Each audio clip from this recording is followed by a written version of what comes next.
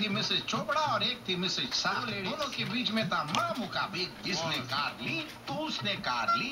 इसका मोबाइल हुआ लेटेस्ट तो उसका हुआ latest to latest. TV to TV fridge to fridge. एक दिन दोनों ने सोचा चलो, चलो बनाए पनीर मखनी। एक लाई साधारण पनीर एक लाई स्वाद। अरे ये पीला ये सफ़ेद छी केमिकल। हाँ शुद्ध दूध। सिर्फ़ स्वाद पनीर बनाया गया है शुद्ध दूध से। अब खत्म हुआ ये संग्राम। स्वाद ने जीता शुद्ध स्वाद पनीर मुझे मेरा स्वाद चाहिए।